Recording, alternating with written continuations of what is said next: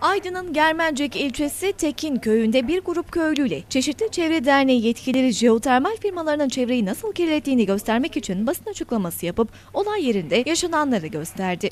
Konuyu gerek Aydın Valiliği, Çevre İl Müdürlüğü ile ilgili ve yetkili kurum müdürlüklerine bildirmelerine rağmen sorunun bir türlü çözülmediğini belirten aynı zamanda Tekin köyü sakinlerinden Germencik Çevre Kültür Derneği yöneticilerinden Ali Erol bir zaman sonra bölgede tarım yapılamayacağını ileri sürdü. Konuyu daha önce defalarca iktidar partisine ve milletvekillerine iletmelerine rağmen sorunlarına çözüm bulunmadığını belirten köylülerin çağrısı üzerine Tekin köyüne giden CHP Aydın İl Başkanı Bayram İnci basın mensuplarıyla birlikte dereye özel olarak çekilen jeotermal deşarj hattını inceledi.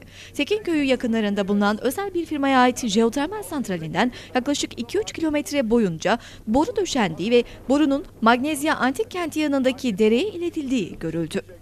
Çevreciler, Germencik Tekin köyünde yaptıkları eylem ve açıklamalarla yetkilileri göreve davet edip jeotermal firmalarını da vicdanlı olmaya çağırdı. AK Partisi İl Başkanı olarak e, saygıyla, sevgiyle selamlıyorum. Bugün buraya sevgili öğretmenimizin bize ilettiği bir haber üzerine geldik. Biliyorsunuz Aydın'da hızla jeotermal sahaları genişliyor.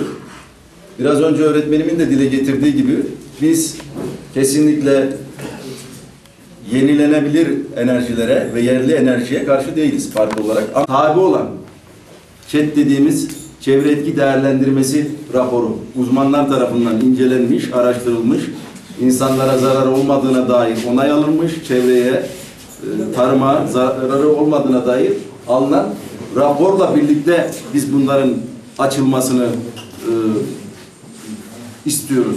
Patronlar benim hakkımı savunmadığı için. Kooperatifler için vereceğim. Süt kooperatifler için. Çünkü benim hayvancılık yapmam engelleniyor. Bunlar sessiz kalıyor. Bunlar için de üyeysem kooperatiflerden ayrılacağım. Ayrı kooperatifler bulacağım. Yani ne, ne demek istediğimi anlamışsınızdır.